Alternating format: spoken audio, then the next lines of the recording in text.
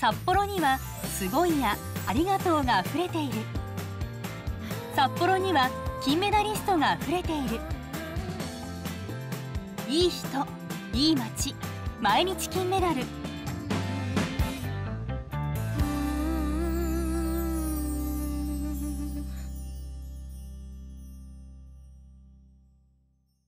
今日は、えーと、後輩の井上梨紗子さんに金メダルをあげたいです。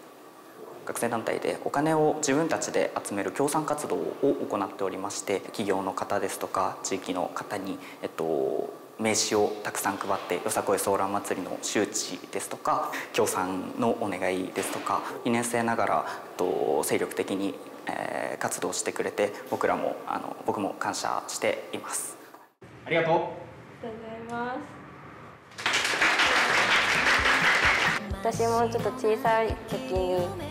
あのパレード会場など見に行っていたんですけれども大学生になった時にそれで私もこのお祭り運営したいと思って入りました。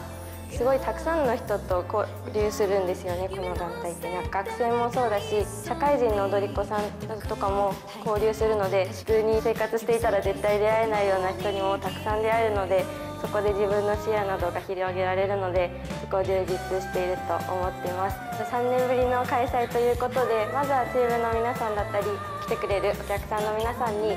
やっぱり6月はよさこい空祭りだよねと思ってもらえるようなお祭りにしたいと思っています。自分たちも楽しんであのこの団体に入ってお祭りを作ってよかったと思えるように